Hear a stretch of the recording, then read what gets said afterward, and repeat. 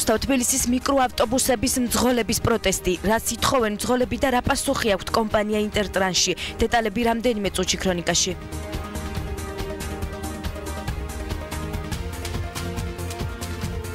რუსთავის ბავშვთა საავადმყოფოში ინტოქსიკაციის დიაგნოზით 6 არასრულწლოვანი გადაიყვანეს.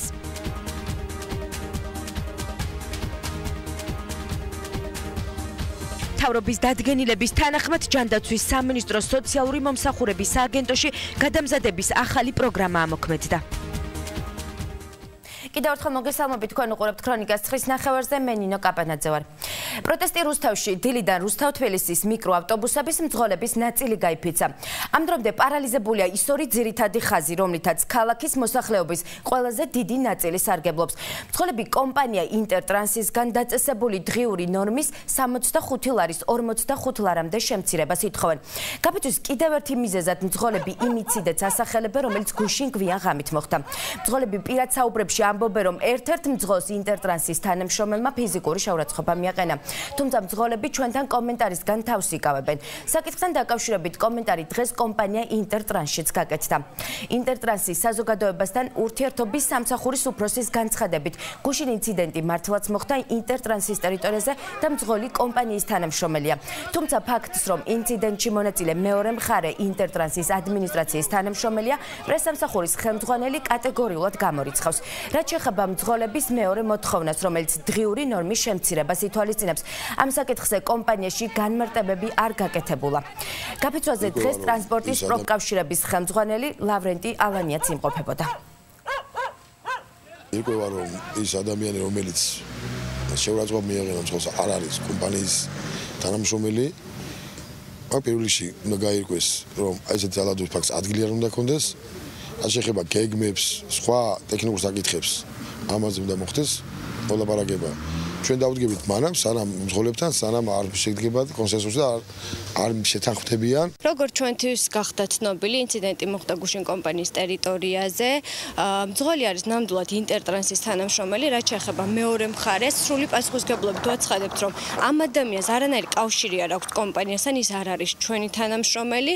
კომპანია ჩართულია საკითხის გარკვევაში, ამ ეტაპზე სხვა დეტალებზე ვერ ვისაუბრებ. რუსთავის ბავშვთა საავადმყოფოში ინტოქსიკაციის დიაგნოზით 6 არასრულწლოვანი გადაიყვანეს. სავარაუდოდ მოწამვლის მიზეზი საკვები გახდა. ბავშვები ყვებიან, რომ მათ სკოლის კაფეტერიაში პიცა მიირთვეს, რის შემდეგაც სასწრაფოს ბრიგადამ ისინი ინფექციურ განყოფილებაში გადაიყვანა. დეტალებს დღეს ქრისტინა სლამაზაშვილი არკვევდა. ექვსი მცირეწლოვანი რუსთავის ბავშვთა საავადმყოფოს ინფექციურ განყოფილებაში სასწრაფო დახმარების ბრიგადამ დაახლოებით 2 საათზე შეიყვანა. მოზარდებს საკვებით ინტოქსიკაციის დიაგნოზი დაუსვეს. მათ გამოკვლევები ჩაუტარდათ და ამ დროისთვის ბავშვების ჯანმრთელობის მდგომარეობა დამაკმაყოფილებელია. ისინი მკურნალობას სავარაუდოდ საკუთარ სახლებში გააგრძელებენ. ბავშვების მდგომარეობა არ იყო მძიმე, არც ერთი ბავშვი საშუალო სიმძიმის, გავკეთათ გამოკვლევები და დაიწყო გადაუდებელი დახმარება. მდგომარეობა. ამჟამად უკვე ბავშვების მდგომარეობა არის დამაკმაყოფილებელი, სტაბილური, რაიმე საშიშროება არც ერთ ბავშვს არ იმყოფ. დღესვე გაწევთ. იცით რა, მონიტორინგია საჭირო, დაკვირვება, ანალიზების შედეგები როგორი იქნება და თავარია ბავშვის მდგომარეობა. როგორც ირკვევა მოზარდები რუსთავის მე-14 საჯარო სკოლის მერვე კლასის მოსწავლეები არიან. ბავშვების თქმით, მათ პიცა სკოლის კაფეტერიაში შეიძინეს და მიირთვეს, რის შემდეგაც სისუსტე იგრძნეს და სკოლის ადმინისტრაციამ სასწრაფო დახმარების სამსახური გამოიძახა.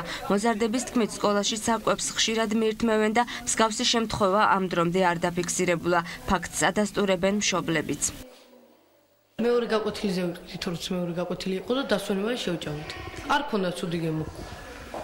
ჩაულებდი თუ რატომ მე სამი გაკვეთილი მუსიკა ქონდა და შემდეგ მე ოთხი რო დაიწყო მაშინ გავხდი ცუდას აი რა რა მოგივიდა?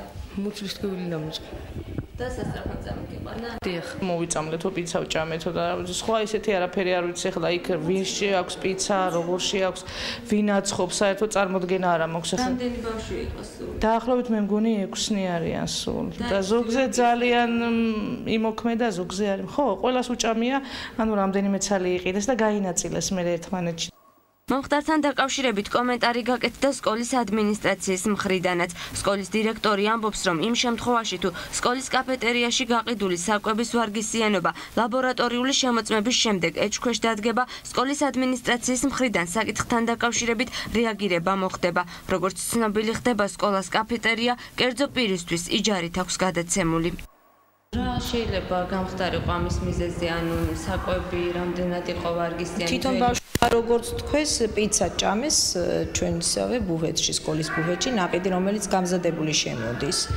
ნიმუში წამოვიღეთ და ლაბორატორიაში ეხლაც გამოკვლევაზე. ამ შემთხვევაში თუ დასტურდება, რომ ეს არ იყო საჭმელად ვარგისი ლაბორატორიულად, შემდეგ ანუ შესაბამის ზომებს მიმართავთ, იმიტომ რომ იჯარით არის ფაქტი. და იჯარის ხელშეკრულებაშიც მითითებული გვაქვს პუნქტი, რომ დაცული უნდა იყოს ჰიგიენურ-სანიტარული ნორმები და ჯანმრთელი საკვები იყოს სკოლაში. სკოლის მოსწავლეების ჯანმრთელობის მდგომარეობა ამ ეტაპზე სტაბილურია. კაფეტერიაში შეძენილ საკვე პროდუქტს ამ დროისთვის ლაბორატორიული შემოწმება უტარდება. შედეგები კი მოგვიანებით გახდება ცნობილი. მთავრობის დადგენილების თანახმად ჯანდაცვის სამინისტრო სოციალური მომსახურების სააგენტოში გადამზადების ახალი პროგრამა ამოქმედდა. პროგრამა იმ პირთა გადამზადებას გულისხმობს, ვინც სამუშაო ძიებისთვის worknet.gov.gz-ზე იყო რეგისტრირებული. ვინდა რა მიმართულებით გადაამზადებს მსურველებს და რამდენმა ადამიანმა შეძლო რუსთავის მასშტაბით პროგრამაში ჩართვა. სიახლის დეტალებს დღეს მარიამ სოლოღაშვილი არკვევდა. უმუშევრობის პრობლემის დასაძლევად მთავრობამ ახალი გეგმა შეიმუშავა. ჯანდაცვის სამინისტროს ინიციატივით და სოციალური მომსახურების სააგენტოს ორგანიზებით დასაქმების მსურველთა გარკვეული კატეგორია, რომლებიც სპეციალური საგანმანათლებლო საჭიროების მქონე და სახელმწიფო ზრუნვიდან გამოსული პირის ქვეყანაში დაბრუნებული მიგრანტის და სხვა სოციალური სტატუსის მქონე თითლება პროფესიული გადამზადების პროგრამა ამოქმედდა. რუსთავის მასშტაბით პროგრამაში სულ 59 პირი ჩაერთო, რომლებსაც სახელმწიფომ ორთვიანი გადამზადების კურსი უფასოდ შესთავაზა. ბაზა. მიზანია დასაქმების მსურველი პირების კონკურენტულობის ამაღლება და მათი კვალიფიკაციის შესაბამისად ამ გაუმჯობესება. პროგრამაში ჩართვის დროს ვის მიენიჭა პრიორიტეტი?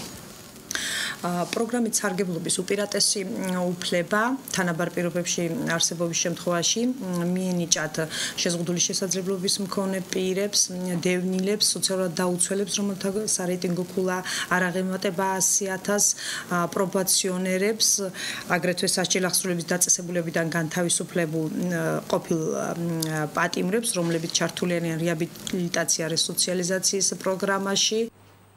უფასო გადამზადების პროგრამაში 7 სპეციალობა შედის, რომელიც სახელმწიფომ პრიორიტეტულად მიიჩნია. რუსთავში პროგრამაში ჩართულ პირებს პროფესიული კოლეჯი მოდუსი გადაამზადებს. კოლეჯის ხელმძღვანელი განმარტავს, რომ პროგრამაში ჩართულ ყველა კურსანტს სახელმწიფო სერტიფიკატი გადაეცემა. თანამედროვე სწრაფ ტექნოლოგიების სწრაფი დამტოლების პერიოდში მათი მიღებული სპეციალობები, რა თქმა უნდა, რომელიც რამოდენიმე წლის წინ მიიღეს, განვითარდა ტექნოლოგიურად ამიტომ მათი უნარები უკვე აღარ აკმაყოფილება თანამედროვე მოთხოვნებს, ამიტომ მათთვის გადამზადება აუცილებელი და საჭირო იყო. გადაწყვეტილების მიღება განაპირობა იმანაც, რომ ჩვენ შევძლებდით სრული 100%-ით სრული 100%-ით დაგვიმაყოფილებია ის მოთხოვნები, რა მოთხოვნებსაც აყენებს ამჯამდელი ბაზარი. პროგრამაში ჩართულ კურსანტებს იმედი აქვთ, რომ გადამზადების პროგრამის დასრულების შემდგომ სამსახურის მოძიება ბევრად გაუმარტივდებათ. მათი თქმით, ქვეყანაში არსებული ეკონომიკურ-სოციალური ფონის გათვალისწინებით აღნიშნული პროგრამა დროული და აუცილებელია. შემოგთავაზეს რამდენიმე კურსი და ავირჩი ოფის მენეჯერის კურსი, რადგან ვფიქრობ, რომ დღესდღეობით უფრო ყველაზე მოთხოვნადი პროფესია არის, რადგან დავალ სფეროს მოიცავს ასევე და იმედი მაქვს, რომ ნატალიაში მცირებული დროში გავდივარ სწავლების კურსს, მაგრამ იმედი მაქვს, რომ მაინც სათანადო ცოდნას მივიღებ. ვორქნეძე ვიყავი დარეგისტრირებული. მომივიდა მესიჯი, გავიარე რეგისტრაცია, დაგვირიგდა ვაუჩერები. შემდეგ ვაუჩერით მოვედით აქ, მოხვდით საბუღალტრო განათლების აღსდა და მივიღოთ აქ. ძალიან კმაყოფილი ვარ ამ სასწავლებლით. გავდივარ ისეთ კურსს, რომელიც აუცილებელია საბაზისო დონისთვის, აუცილებლად შემდეგ ეს მასწავლია, გაუცილებლად დამეხმარება სამუშაოს დაწყებაში. ქვეყანაში მაღალკვალიფიციური კადრებისა და შესაბამისი სამუშაო ადგილების შექმნის მიზნით გადამზადების კურსის დასრულების შემდეგ პროგრამის მეორე ეტაპი კვალიფიკაციის ამაღლების მსურველთა და ფინანსებას გულისხმობს. ლომაურის ქუჩაზე ხელოვნური შემაფერხებლების ეგრეთ წოდებული ბუგაროკების არსებობა კვლავ პრობლემას ქმნის. ბრძოლები ხელოვნური ბარიერების სტანდარტებში მოყვანას ან მის დემონტაჟს ითხოვენ, რადგან მათი თქმით ამ ტერიტორიაზე მსგავსი შემოფერხებლების არსებობა გამართლებული არ არის. ბრძოლების განცხადებით ლომოურის ქუჩაზე არსებული ხელოვნური შემოფერხებლები არანაირ სტანდარტებს არ შეესაბამება. ტერიტორიაზე არ შესაბამისი ნიშანი დგას, რაც გადაადგილებისას პრობლემებს ქმნის. შედეგად კი ავტომობილები ზიანდება. ხელნაკეთი ბუგაროკები ყველაზე დიდ პრობლემას მძღოლებს ღამით უქმნის, რადგან მათი შემჩნევა სიბნელეში პრაქტიკულად სრულად შეუძლებელია. ქრონიკა აღნიშნული თემით რამდენიმე დღის წინაც დაინტერესდა. ჩვენ შევეცადეთ მოგვეპოვებინა ინფორმაცია, რამდენად კანონიერად არის დასხმული ამ შემთხვევაში ხელოვნური ბარიერები ლომოურის ქუჩაზე. თუმცა ზედამხედველობის სამსახურში საკითხთან დაკავშირებით კომენტარის გაკეთება არის სურვეს. უწყებისგან ქრონიკა ვერც მსგავსი შემთხვევების მონიტორინგსა და კანონდარღვევის შემთხვევაში დაწესებული სანქციების შესახებ მიიღო პასუხი. შესაბამისად არის თუ არა ამ ტერიტორიაზე ბუგაროკების დასხმა მოსახლეობის თვითნებური ინიციატივა ჩვენთვის უცნობია. პრობლემა კი კვლავ პრობლემად რჩება. საკითხის აქტუალურობისა და მოქალაქეების ინტერესებიდან გამომდინარე, ქრონიკა აღნიშნულ პრობლემას კვლავ დაუბრუნდება. ძალიან მაგრად მიქნის ხარჯთანაც ძალიან დიდი დაკავშირება აქვს მაგას რა. რატომ მანქანა ფუჭდება? მანქანას ფუჭდება და საწვავის ხარჯი არის ძალიან მაგრად მომატებული ამ ბუგარო. სტანდარტებს შეესაბამება. არ არანაირად არ შეესაბამება. რა უნდა მოხდეს თქვენაზე თუნდა კონტროლდებოდეს ეს? რა თქმა უნდა, რა თქმა უნდა. თუ აგებენ, უნდა დააგონ, რაც საჭირო არის ისეთი სტანდარტის ბუგაროკები. სერიოზულ პრობლემას გვიქმნის და ძალიან ბევრია. ზოგიერთ ადგილზე ისეთ ადგილებზეა საერთოდ საჭირო არა. აქ საჭიროა. სკოლებთან, ბაღებთან საჭიროა. დანარჩენ ადგილებზე. აი, აქ ამ ამ ადგილზე არ არის საჭირო. მაღალია თქვენი აზრით ვიდრე სტანდარტი? აი, ქარხნული ნორმალურია და ხელით რომ აკეთებენ ის ძალიან მაღალია რა. აქ ხელით არის. ხელით არის გაკეთებული და თანაც უადგილო ადგილზე. აქ არ უნდა იყოს რა ვიცი. ეს არის ერთ-ერთი ისეთი რაღაცა რომ მოხდეს უღაზე ადამიანმა არიცის ამით რა შეიძლება ამოტრიალდე გადაბრუნდე და ეს რა მანქანის რამდენად აზიანებს? ძალიან ცუდად. გამე ჩანს? არა ჩანს. უნდა იყოს მანდ ისინი ზოლები უნდა იყოს. არა ჩანს და ესე არ შეიძლება ანუ ქარხნული არ არის ეს ხო? რა თქმა უნდა ეს არ არის ქარხნული. ანგრევს მანქანებს. არ არის ხელით არის დამზადებული თუ ქარხნული? ან ღამე თუ ჩანს? ეს ხელით არის მაგრამ პლასმასებით ხომ არის ქარხნული? საჭიროა თქვენი აზრით. რა ვიცი. გააჩნია სად და რა შემთხვევაში მე მგონი არ არის გაიღეს სისხლი აჩუქეს სიცოცხლე. ამ სახელწოდების აქცია გამართა დღეს მარნეულის მუნიციპალიტეტში. აქციაში მონაწილეობის მსურველებს სისხლის გაღებასთან ერთად სხვადასხვა მიმართულების კვლევები ჩაუტარდათ. აქტივობა ჰემატოლოგიის და ტრანსფუზიის კვლევითი ინსტიტუტის სისხლის ბანკის ორგანიზებით განხორციელდა. აქციაში მონაწილეობა მარნეულის მუნიციპალიტეტის თვითმმართველობის წარმომადგენლებმაც მიიღეს. გაღებული სისხლი მოხმარდება დაავადებული ეკიმით დაავადებული ბავშვებს და იმ ადამიანებსაც ესაჭიროება ეს ყველაფერი პერიოდულად მუნიციპალიტეტი ყოველთვის ღებულობს კომუნალურ აქციებში მონაწილეობას და მე მივესალმები სისხლის გადასხმის ცენტრს რომელიც ჩამოჭრა ჩვენთან დღეს. დღეს მარნეულის მუნიციპალიტეტში სისხლის გაღების აქცია მიმდინარეობს.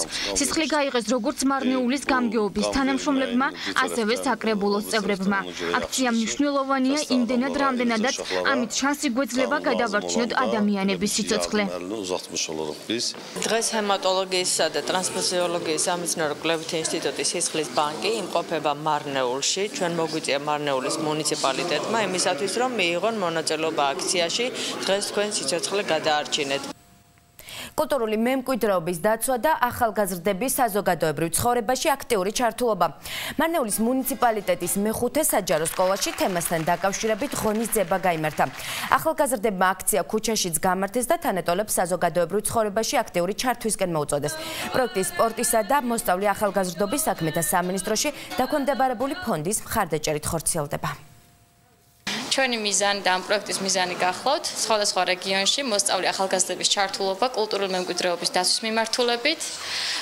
და ძალიან დიდი მადლობა გვინდა გადაუხადოთ მარნეულის ნომერ მე-5 საჯარო სკოლას აქტიური თანამშრომლობისთვის. ამ ტრენინგ მომცა ძალიან დიდი ცოდნა მომცა ძალიან დიდი ესე იგი რაღაც შევიტყვე რაღაც ახალი და რავი ძალიან მიხარია. ქრონიკაში სპორტის სიახლეების დროა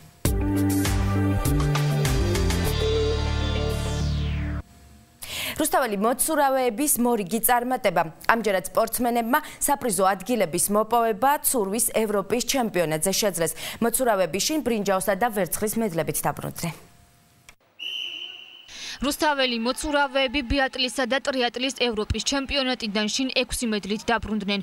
ჩემპიონატში, რომელსაც თურქეთმა უმასპინძლა მონაწილეობას 16 ქვეყნის წარმომადგენელი იღებდა. 250 სპორტსმენს შორის ევროპის ჩემპიონის ტიტულის მოპოვება რუსთაველმა მოცურავემ ნიკა ყოჩიაშვილმა შეძლო. მონაწილეობას იღებდა 16 ქვეყანა. 250 სპორტსმენი, რუსთავიდან გაემგზავრა ორი სპორტსმენი. აქედან ნიკა ყოჩიაშვილმა აიღო ოქროს მედალი და გახდა ევროპის ჩემპიონი. რა თქმა უნდა, კონკურენცია იყო. ინდივიდუალურში ავიღე პირველი ადგილი და გავხდი ევროპის ჩემპიონი. კიდევ ერთი პირველი ადგილი ავიღეთ გუნდურში, საქართველოს, ასე ასევე ავიღე მეორე და მესამე ადგილი. ცურვის ევროპის ჩემპიონატზე წარმატებითი ასპარეზა კიდევ ერთმა რუსთაველმა სპორტსმენმა. ლიკა ჭიხორია მედლები გუნდურ ცურვასა და მიქსში მოიპოვა. მიქსში ავიღეთ მესამე ადგილი და გუნდურში გოგოების გუნდმა აიღო პირველი ადგილი. კონკურენცია იყო ძლიერი, ევროპის მასშტაბით ტარდებოდა შეჯიბრი და იყო ბევრი ქვეყანა. ცურვის ევროპის ჩემპიონატიდან რუსთაველმა მოცურავებმა ორი ბრინჯაო, სამი ოქროსა და ერთი ვერცხლის მედალი ჩამოიტანეს. ამჯერად მოცურავეები მზადება საკუთარი შედეგების კიდევ უფრო გასაუმჯობესებლად ერევნის ჩემპიონატისთვის გადიან. ორი რუსთაველი კალათბურთელი ზურაბ ვაშაკიძე და საბა სვანი საქართველოს ნაკრებში მიიწვიეს. სპორტსმენები 2002 წელს დაბადებულ ვაშთა შორის მიმდინარე საქართველოს პირველობაზე ფედერაციის წარმომადგენლებმა და უცხოელმა დამკვირვებლებმა შეარჩიეს. ამ ეტაპზე კალათბურთელები გვარჯიშებს კვირაში სამჯერ თბილისში სპორტის სასახლეში გადიან. საქართველოს ნაკრები 18 ნოემბერს ესტონეთში გაემგზავრება, სადაც ევროპის პირველობისთვის იასპარესებს. გასახარელი ამბავი არის ჩვენი სკოლისთვის. ჩვენი ორი კალათბურთელი 2002 წელს დაბადებული ჭაბუკებიდან სურაბ ვაშაკიძე და საბასვანი მიიწვიეს საქართველოს ნაკრებში. კვირაში სამი დღე გადიან ნაკრებთან ერთად ცნას თბილისის სპორტის სასახლეში. ხვალე უკვე საელჩოში შედიან და 18-ში მიემგზავრებიან ევროპის პირველობაზე ესტონეთში რუსთაველი მოკრივეები نيكოლოზ ბეგაძე და უჩა მაისურაძე ევროპის ახალგაზრდული პირველობისთვის ამზადებიან. სპორტსმენები, რომლებიც საქართველოს ნაკრებში ირიცხებიან, მოგების მოსაპოვებლად აქტიურ ვარჯიშებს გადიან. ბოლო ვარჯიშს კი თბილისში ნაკრებთან ერთად ჩაატარებენ. პირველობა პოლონეთში გამართება. უჩა მაისურაძე 60 კილოგრამ წონით კატეგორიაში, نيكოლოზ ბეგაძე კი 81 კილოგრამ წონით კატეგორიაში ასპარეზობს. საქართველოს ახალგაზრდული ნაკრები ემზადება ევროპის პირველობაზე მონაწილეობის მისაღებად. იმედები ნამდვილად გვაქვს, ბიჭები კარგად არიან მომზადებულები, ეხლა კიდევ შეკრებას გაივლიან თბილისში, უკეთესად მოემზადებიან და იმედია რომ გაგვახარებენ. ქრონიკაში რეკლამის დრო პირდაპირ ეთერში რამდენიმე წუთში დაბრუნდებით დარჩით ჩვენს არხზე. რუსული ავიალაინერის კატასტროფის მიზეზი შესაძლოა ბორტზე არსებული ასაფეთქებელი მოწყობილობა ან საწვავის ბაკის აფეთქება გახდა. დეტალები რეკლამის შემდეგ ქრონიკაში. პაკისტანში ქარხნის ჩამონგრევის შედეგად სულ მცირე 20 ადამიანი დაიღუპა, 80-ზე მეტი კი დაშავდა. რუსული ავიალაინერის კატასტროფის მიზეზი შესაძლოა ბორტზე არსებული ასაფეთქებელი მოწყობილობა ან საწვავის ბაკის აფეთქება გახდა. ამ ვერსიებს ამერიკელი და ბრიტანელი დაზვერვა განიხილავს. დიდი ბრიტანეთის პრემიერ-მინისტრმა დევიდ კემერონმა ეგვიპტის პრეზიდენტთან გამართული სატელეფონო საუბრის შემდეგ ავიაკომპანიებს მოუწოდა უსაფრთხოების ზომებიდან გამომდინარე შარმელ-შეიხიდან რეისების განხორციელება დროებით შეაჩერონ. გავრცელებული ინფორმაციით ლონდონმა შარმელ-შეიხის აეროპორტში ექსპერტთა ჯგუფიც გააგზავნა, რომელიც უსაფრთხოების დონეს ად ადგილზე შეისწავლის. პარალელურად გრძელდება ბრიტანელი ტურისტების ევაკუაცია.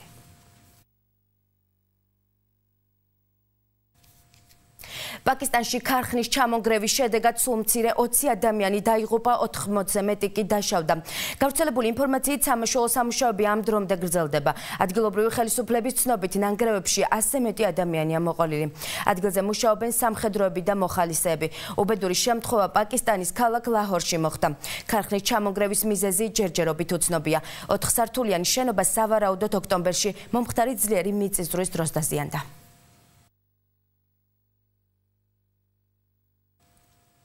დაკვალ საქართველოს და ტრადიციულად ამინდის პროგნოზი. მომდევნო დღების განმავლობაში უნალექო ამინდები შენარჩუნდება. დასავლეთ საქართველოში მოსალოდნელია თბილი ამინდი, ჰაერის ტემპერატურა კი 14-19 გრადუსის ფარგლებში დაფიქსირდება. ხვალ კი აღმოსავლეთ საქართველოს უმეტეს რეგიონშიც, მათ შორის რუსთავშიც, მზიანი ამინდებიან ნავარაუდები. ჰაერის ტემპერატურა კი იქნება.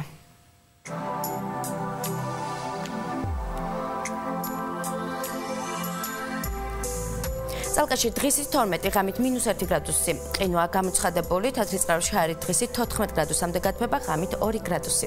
დმანისში დღისის 13 ღამით 0, ბოლნისში დღისის 17 ღამით +4. მარნეულში ნავარაუდებია დღისის 17 გრადუსი, ღამით +6. დედაქალაქში დღისის ასევე 17 ღამით +4. გარდამაში დღისის 18 ღამით +7, რაც შეეხება ჩვენს ქალაქს, დღისის 18 ღამით +7.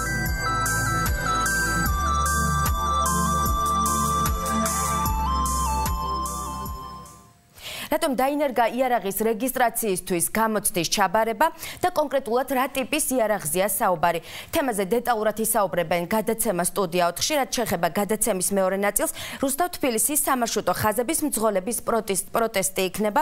ამ დრომდე პარალიზებულია ის ორი ძირითადი ხაზი, რომელთაც ქალაქის მოსახლეობის ყველაზე დიდი ნაწილი სარგებლობს. საკითხთან დაკავშირებით ტრანსპორტის პროფკავშირების თავმჯდომარე ლავრენტი ალანია უპასუხებს სტუდია 4-ის შეკითხვებს. შეგახსენებთ, რომ გადაცემა ზუსტად 21 საათსა და 30 30 წუთზე დაიწყება, ასე რომ არ გამოტოვოთ და გამოტოვოთ და დარჩით ჩვენ სახზე. ასეთი იყო დღის თავარ თემები და ქრონიკა ცხრის ნახევარზე ნახვამდის.